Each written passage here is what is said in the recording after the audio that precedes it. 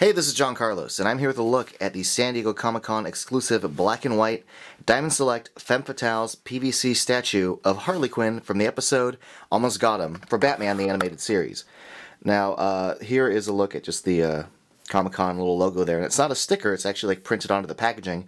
There is a regular Harley coming out that's actually, you know, red and black like the cartoon colors, but uh, this is a con exclusive, and I like that the packaging reflects that with not just a sticker. Although there is a sticker here with the uh, limited number out of 4,000. So that's cool.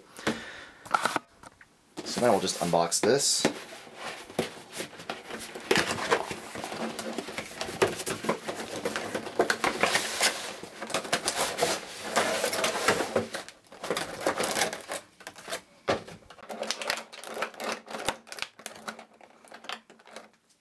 Being that this is a 9 inch tall statue, that would allow for some pretty good detail. But since this is based on Bruce Timm's designs from Batman the Animated Series, there isn't a lot of detail. It's a very simple design, but this is a very simple design done well. Starting off with the base, which I think is cool. It's the, uh, the bat signal with uh, her little graffitiing stinks on it. Well, you know, in reverse, when you project it, it reads like stinks with the little stink lines above Batman's head here, or the bat ears of the symbol. Um, and then you get to the detail of like the sculpt of the figure itself and like the pose it's in, just like the, the basic lines of, like the contour lines of her shape. And I think they did just a really, really great job with this. Um, you can see here the way like she's kind of posed with her arms like up and with the uh, spray can. Uh, like there's nothing to complain about here with this sculpt. It's a very, very solid sculpt with a strong use of paint. Again, there's going to be the red one coming out later, but right now we've got this black and white variant, and I think the, the paint on it's pretty damn clean. Here, let's go for a closer look, and you can just show you guys like how clean most of it is. Like her uh, her mouth looks good, her eyeballs look good, so does the mask.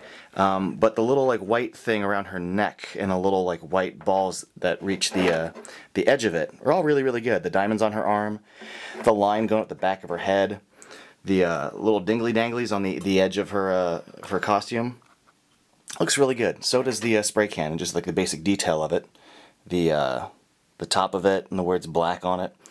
Uh, yeah, like like pretty easy statue to review. Going down the front of it, you can just see the separation between the black and the gray. The uh, little black diamonds there. Uh, the gray diamonds on the uh, black part of her leggings. All really solid work, and the way it connects to the base is really good too. You don't have to assemble it yourself. It's all kind of assembled and ready to go.